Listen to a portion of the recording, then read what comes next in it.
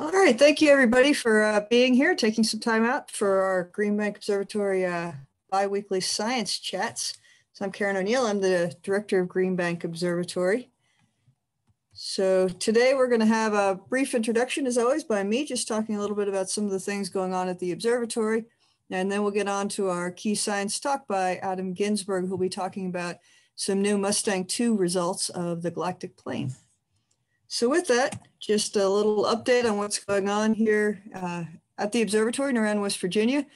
Like much of the country, like much of the world, the number of uh, COVID tests is back on the rise again. So about 5% of all tests currently are positive within the state of West Virginia. Uh, much more locally, uh, the local uh, preschool through middle school was shut down last week due to a few cases uh, with the teachers, the intent is to prevent an outbreak. Uh, so the school is not in full outbreak yet, but preventing it. So that's had a few uh, few ripples down into the to the staff at the observatory. But as I said, the good news is they're trying to to stop things before they get started. So that's good. Again, the GBT remains in full operation 24 hours a day, seven days a week, as always. All of the work is going slowly but safely. We, of course, have a few more delays due to the local uh, school closures and to prevent an outbreak there. So we have a number of staff that are on quarantine right now, uh, making things just go, again, a little bit more slowly than they normally would, but still continuing forward. The high frequency season is well underway. So Adam's talk today is going to be a great highlight of the types of uh, fantastic science you can get out of the GBT during high frequency season. Now we're really hoping for a good year this year. Lots of nice clear skies like we have right now cold weather, and so lots of chances for high frequency science on the GBT. Other exciting thing going on is, is next week we're going to have a proof of concept test for a new low power radar system. So this is just a proof of concept. The goal is not uh, amazing science out of this, but to show the idea with this new low power radar system and to pave the path for potentially a new higher powered system later in Green Bank's future. Other fun stuff going on on site. Our Education and Public Outreach Division is now doing uh, some limited uh, guided walking tours outside. They also have demo days throughout the month of November, as well as some lectures, again, held outside under a tent for safety. I, if you happen to be in the area, I think you might want to come down into the area. I strongly encourage you to sign up online so you can go in, you can register to do the, go on the tour, take a, uh, uh take in one of the lectures or go through one of the demos and we're just excited to finally be able to reach back out to the uh, to the general public again, even if it is in a limited way. Also coming up, we have the 2020 Jansky Lecture on November 17th at 7 p.m. This year's Jansky, Jansky lecturer is Dr. Martha Haynes from Cornell University. This, of course, will be an online event. Uh, we do encourage and need everybody to register for that. So if you're interested in watching the Jansky Lecture, 2020 Jansky Lecture, I encourage you to go onto our website where you'll find the link to sign up for that. And then other things going on, the next Observer Training Workshop is going to be held February 9th and 10th of next year. It's again a virtual workshop, so you can sign up online for that. And the Single Dish Training School is uh, currently likely to be moved to fall of next year to try to maximize the possibility of having a face-to-face -face training school. And that will be held here in Green Bank next year. The details on that are coming soon, as well as the registration page. So watch our website for that. So with that, again, I will just say thank you to everybody that's called into this uh, talk and then hand this over to Adam Ginsburg to talk about some fantastic science with the Mustang 2 receiver. So Adam, off to you. All right. Hi, folks. Thanks for joining. So um, I want to start off by telling you a little bit about how the, the pre technical presentation is working here because I have a link to the talk that I'm giving. So if you guys want to follow along, if you want to read things that I'm saying, you can just go to this URL. Um, I'm sure we can post a link later. Actually, I could probably just put this link into the chat here. Um, and if you want to actually see like the, the presenter notes and everything else, you just press S and it'll pop up. So what I'm going to tell you about today is the Mustang Galactic Plane Survey pilot project that we recently completed and talk a little bit about what we hope to accomplish with uh, a complete galactic plane survey, Northern Galactic Plane Survey. So what we've done so far uh, is use Mustang to map out a couple square degrees in the Northern Galactic Plane. Um, Mustang, so this is Mustang 2, the, the improved version. Uh, it's covering the 90 gigahertz range with about nine arc second resolution. And the first results were published earlier this year in the paper uh, that's linked here. So you know, if you go to the, the uh, well, you can just go to ADS, but you can find is the only paper I've published so far this year. Um, the image I'm showing you right now is uh, part of W43, and it's just one, um, just a hint of some of the interesting stuff that we we've picked up. All right, so the data acquisition and data reduction, um, the the pilot program was only about 18 hours of total time. Um, and most of that was that was all done by the uh, Mustang 2 data team. Um, the, the instrument team did all the observing, and then Charles Romero and Simon Dicker did uh, all of the data processing and map making using uh, the Minkasi tool made by another member of the, the Mustang team. So uh, the maps were, of course, made with the normal boustrophedonic scan pattern, which, of course, is a word that I learned from the Green Bank Observer Manual. Um, the largest recovered scale is about four and a quarter arc minutes. Beam size, as I said, is about nine arc seconds. And our sensitivity, which from uh, essentially two passes on most fields. We just do one horizontal and one vertical pass is getting us to about a millijansky to two millijanskys per beam, depending on how low in the sky we have to go, right? As we go toward the galactic center and we're looking at pretty low elevations, it takes a little bit more. Uh, we're getting, we're slightly noisier. Uh, we found that overall the, the pointing was pretty good. We found, you know, of order five arc second, a little bit less than five arc second offsets with uh, some VLA data. And so we just uh, corrected that by cross correlating, assuming that the VLA data have uh, better pointing. The data have all been released on Dataverse, which again, this is a, a, URL you'll be able to go to. And the reduction scripts, and in fact, all the proposals uh, and all the data tables are available on GitHub. So if you want to get any of this, it's there. So what's the overall motivation for, for doing a blind survey of the galactic plane, which this is not. This is telling you about the, uh, I'm going to show you science results from our pilot program, which is not entirely blind, but why should we do a blind survey covering the whole galactic plane? For starters, we hope to find new and unexpected things. Uh, we also want to enable systematic searches for things we do know exist. Um, and on top, if we you know, know, where objects are, we want to be able to do uh, systematic spectral energy distribution analyses. Uh, we also want to provide some legacy data products for future surveys. Um, and it's important here to have you know, as good a resolution as we can. And this is where I think Green Bank wins out a lot. Uh, and then finally, having this full survey would give us the possibility of having short spacings for ALMA continuum data, which really is not going to be available by any other means, um, particularly at three millimeters. Green Bank's the only instrument, uh, Mustang on Green Bank is the only instrument that's going to be able to provide this. All right, so you know these are sort of generic motivations for a galactic plane survey why are we looking at 90 gigahertz? What's special about this part of the spectrum? And here I'm just grabbing some generic SEDs of galaxies to point out that the three millimeter band is around the global minimum of galactic SEDs. Right now, these are kind of weird ones where they, they've blocked out the starlight. Most galaxies keep going back up over here. But all right, these are, this is near the global minimum of a, uh, of the galactic SED where you have dust falling down. Dust is going down as new to the third or fourth power. You've got synchrotron going down from the other side. And what you might have is some uh, optically thick free free emission kind of coming up over here and maybe turning over somewhere near this range. So uh, it's sort of a unique range in that it's one of the darkest parts of the spectrum to look at from the, the global galactic perspective. So I just said uh, these top three points. Um, and in fact, optically thick free free emission may peak around three, three millimeters um, for sources that are really, really optically thick, which means hypercompact H2 regions. There's also the possibility that anomalous microwave emission um, has some, some component at 90 gigahertz, but it's uh, not terribly well constrained yet. Still, it's an interesting possibility to tackle. All right, so our goal with uh, the Mustang Galactic Plane Survey is to perform a complete galactic plane survey from about minus five degrees to 55 degrees longitude. And this longitude range uh, contains the highest density of millimeter emission sources. Uh, and we're targeting plus or minus half a degree in galactic latitude because again, that's where most of the expected emission is. this part of the galaxy has been surveyed at every other wavelength that it can be. So we have Spitzer Glimpse, Herschel High Gal, the Bolocam Galactic Plane Survey, the Atlas Gal Galactic Plane Survey, uh, a variety of different SCUBA surveys, SCUBA 2 surveys. And then at longer wavelengths from the VLA, we have the Thor and GLOSTAR projects and a few others. These are just sort of the most recent uh, VLA projects. But if you look at the wavelength coverage here, we're jumping from one millimeter all the way out to six centimeters. Um, and in that range, there are no galactic plane surveys with better than several arc minute resolution. So we're really getting much, much better resolution in that, that gap.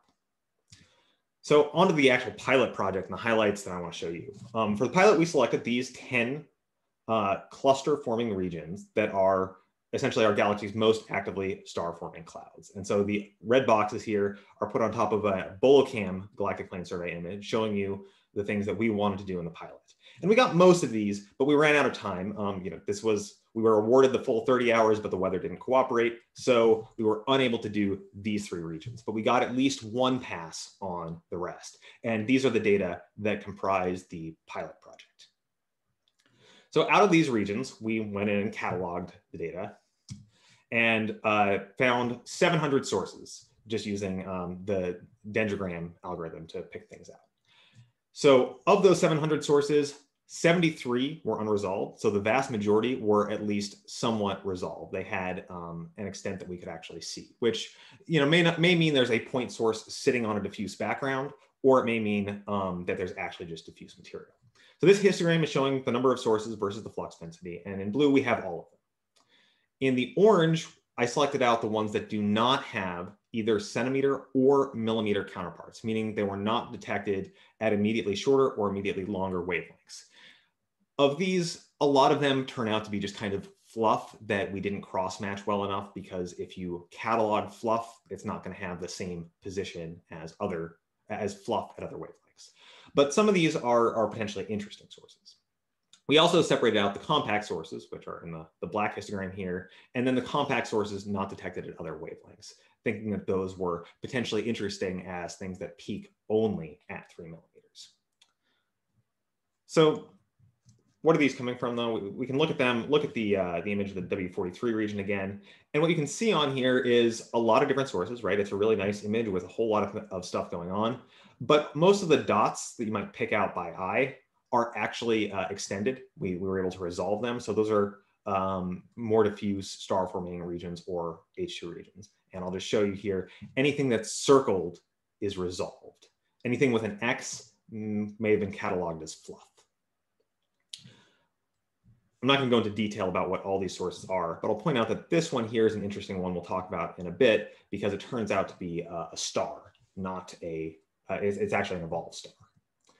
So some of the different source classes we found um, by, by cross-matching with both shorter and longer wavelengths were one, planetary nebulae. So this, this object is a planetary nebula detected at every wavelength we, we cross-matched with, which went from uh, Spitzer Glimpse, three and a half microns, all the way out to uh, the MAGPIS 20 centimeter catalog. Um, and you can see it you know, detected at every wavelength. The planetary nebula is producing an H2 region. It also has plenty of dust that it's producing.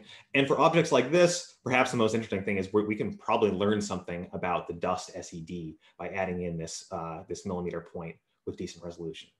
But these were not our prime targets. You know, for, for at least this first project, we treated planetary nebulae as contaminants, but interesting ones. Another interesting subset of sources is uh, OHIR stars. So again, this is, it's a star. You can see it at short wavelengths, but at long wavelengths, it's totally absent. There is no, no centimeter detection.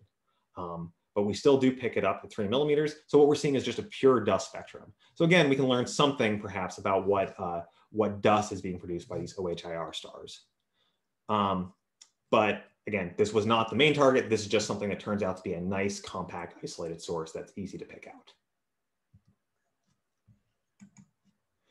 What we're actually looking for in the pilot was um, hypercompact H2 regions. And so one um, set of criteria we used for that was to look for sources that showed up in the dust uh, dust continuum, so at uh, in the Herschel bands and the millimeter bands, but dropped out once you got to centimeter bands, with the idea being that these sources may be uh, optically thick at three millimeters, and so their SED is dropping off more steeply than, um, than the, the centimeter uh, wavelength surveys are capable of picking up. So these are the at least one subset of the candidate hypercompact H2 regions.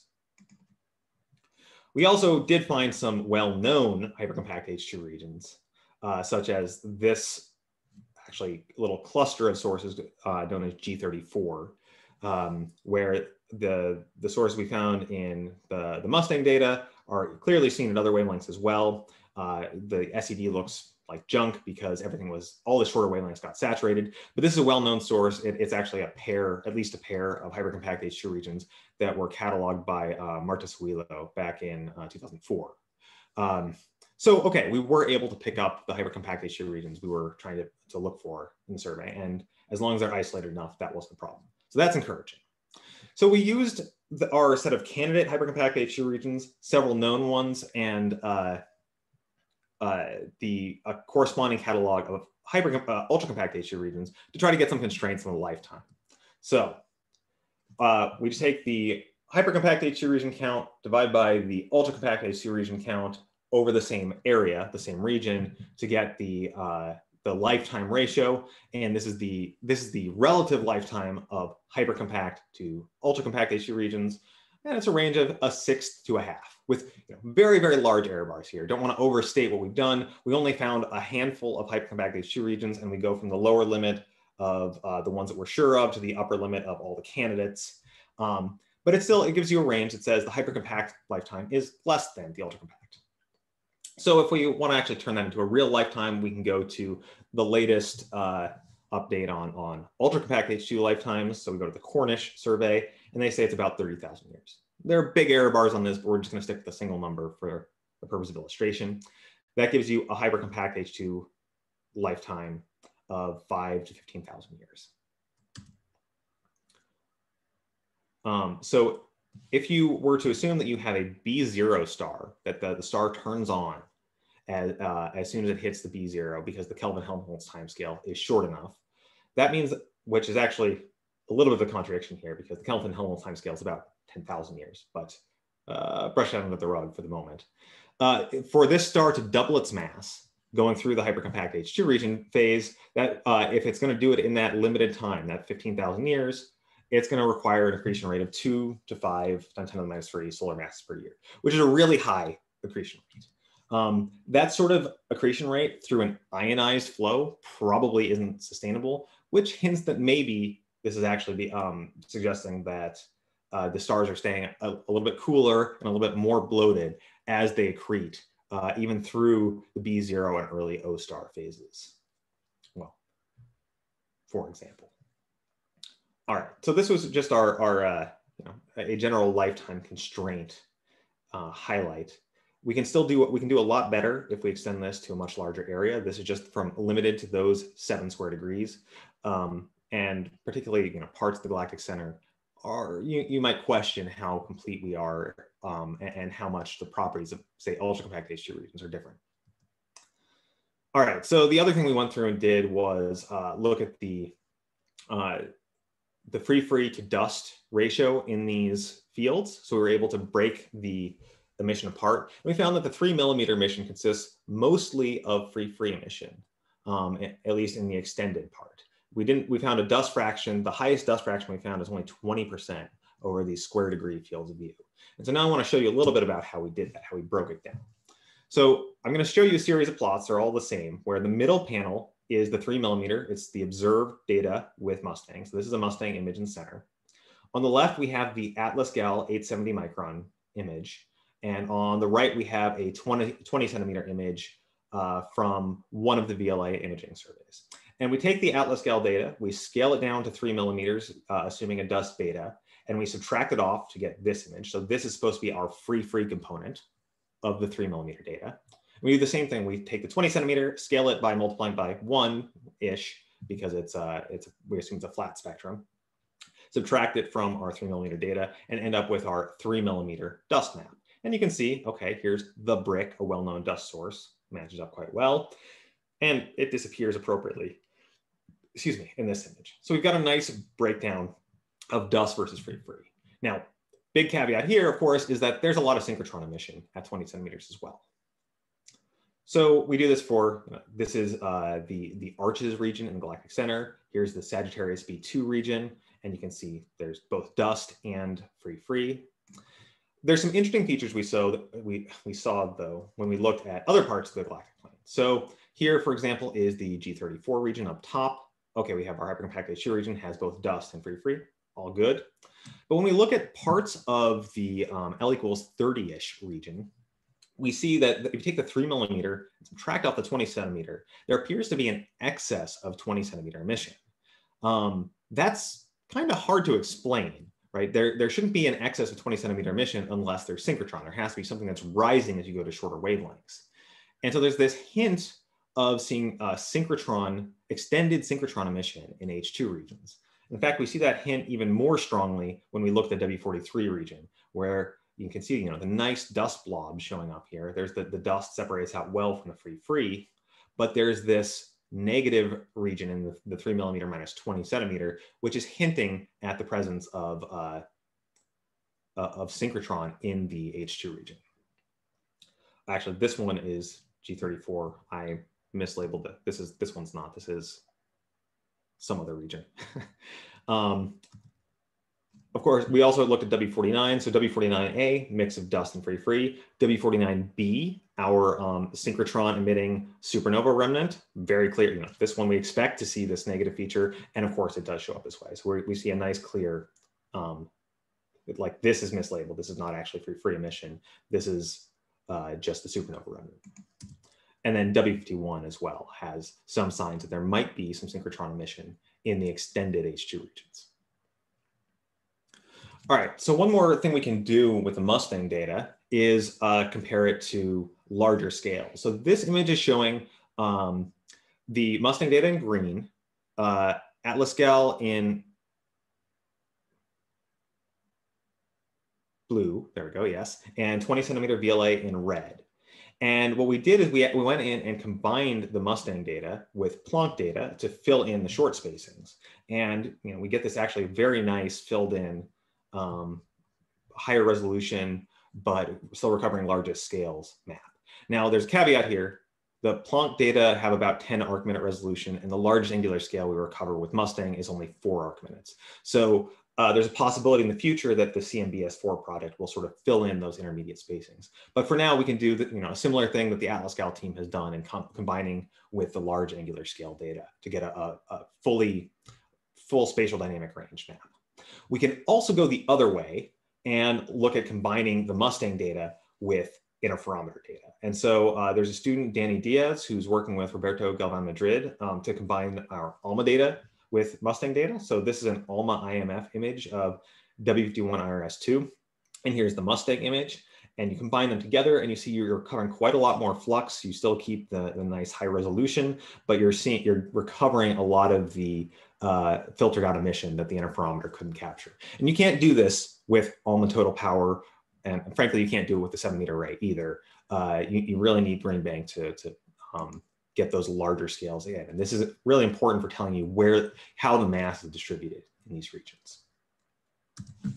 All right, so there, there are also some future companion surveys we might look toward uh, to, to motivate uh, a Mustang Galactic Plane survey. For example, LMT has the Aztec and Toltec uh, imagers that are going to make 10 and 15 arc second maps at one and two millimeters. Uh, IRAM's NIKA instrument has started mapping out big chunks of the galactic plane at similar resolution. Uh, and of course, there are going to be these ALMA mosaics popping up everywhere in the galaxy. ALMA IMF already has 15, but there are a lot more of them. Um, that they'll be looking to Green Bank to fill in those short spacings as well. So I will uh, leave you with a summary slide. Um, where we, you know, we have a few small science highlights from this pilot program, uh, but the maps look great. Mustang 2 performed really well and the Mustang team did a great job. Um, and there's, there's just a lot of potential for, uh, for extending this further. So with that, I am ready for questions. Thanks. Thank you, Adam. If anyone has questions, please enter them in the Q&A uh, window.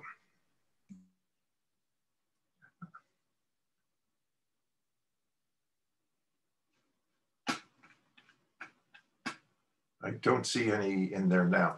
Um, There's a hand raised, so um, oh, but I don't think you can. They can talk, can they? Uh, hmm. I don't You type it in, it's better. Yeah. Let me just ask Adam while we're waiting. Um, are there plans to continue the survey now? Yeah, we have submitted, resubmitted. Uh, we, we've been submitting uh, every semester since uh, since 2012 or so uh, to try to get this time in. And so we do have a submission in now, um, and we're just trying to get basically what I said. We're doing it um, in pieces because we can't, we don't want to take up all of the Green Bank um, three millimeter time, but we want to get as much as we can uh, each um, each cycle. So yeah, absolutely, we're trying to extend it. Uh, we would also like to be able to go deeper in some regions. Uh, it, it's clear that we we haven't you know, we could afford to go deeper and we'd, we'd be able to see more if we did. So yes, short answer. We have a question here. Um, any plans to explore Meerkat data for overlapping regions? I would love to um, have a look at Meerkat data in the overlapping regions. I don't have access to any of that except a little bit in the Galactic Center. And indeed, it would be really quite interesting to compare the Galactic Center Meerkat data. Uh, I'll, I'll, i should point out the images that I was uh, showing you here, right? The 20 centimeter data um, that's in red, those come from uh, Farhad Yusef-Zadeh's uh, survey of the Galactic Center uh, from quite a while ago uh, with the VLA. And the Meerkat data are a good deal more sensitive, I think higher resolution as well. Being able to compare these side by side would almost certainly yield something interesting. And especially if we were able to get uh, uh, spectral index maps, so we could separate out the free free and synchrotron a bit. Uh, but yeah, like I said, I don't have access. So if you'd like to collaborate on that, just yeah, contact me offline. There's another uh, comment. Um, Chandra observations can identify massive OBWR members of these distant star forming regions, complementing long wavelength dust and gas observations. Absolutely. And I'll point out that I think, Eric, one of your favorite uh, regions, W51 IRS2E, is sitting right in there. Uh, and it's the, one of the more intriguing um, Chandra sources. So, yes, there, there's definitely um, complementarity there. And uh, of course, Chandra has a, quite a bit better resolution. Um, but yeah, I think uh, this is this in particular is a region where I think comparing the the the st- star population you see with Chandra to the dust emission with uh, with Green Bank is, is interesting.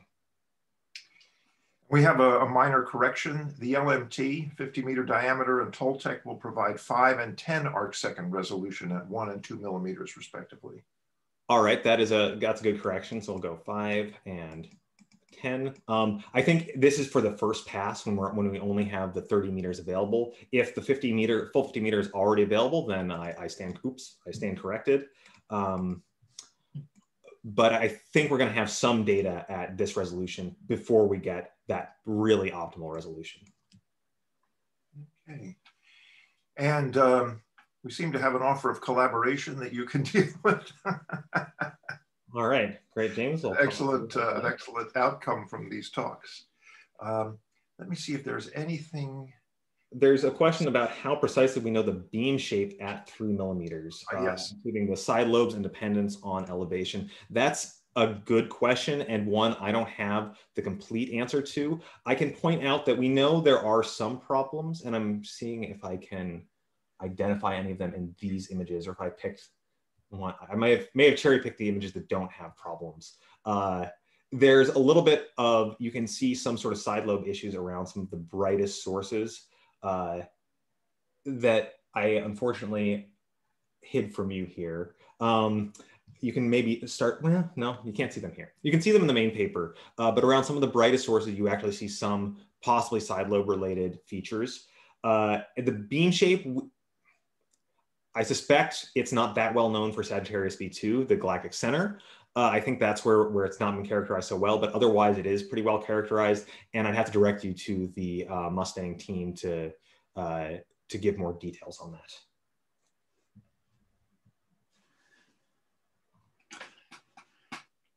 Um, oh yeah, Brian said that they do a quick measurement of the beam every 30 minutes or so. And uh, so so it's it's reasonably well characterized. But yeah, just when we're the galactic center, we were pushing the limits a little bit. Um, I see our notes question about how do we extrapolate the high frequency dust data down to three millimeters and what are we assuming about dust properties? Uh, that we did very simple assumptions. We just assumed beta equals 1.5. We assumed uh, that assumed Rayleigh-Jeans, right? We assumed that the ATLASGAL data was already following that nu to the minus two, and that works actually pretty well, right? Uh, we can do quite a lot better with full SED modeling, um, but for just the the images I'm showing here, where we're just trying to sort of split out the dust from the free free, that worked actually quite well. Okay, is that, does that finish our questions, I believe, active questions? Yeah. Okay, Adam, I'd like to thank you very much uh, for this really interesting presentation and just remind everyone that this presentation will be available online through our website in a couple of days. And we will have another presentation in and another one of these webinars in two weeks and the topic will be recent results from the NANOGrav um, survey of pulsars for gravitational radiation. And so we look forward to seeing you then. Thanks and bye. All right, thanks all.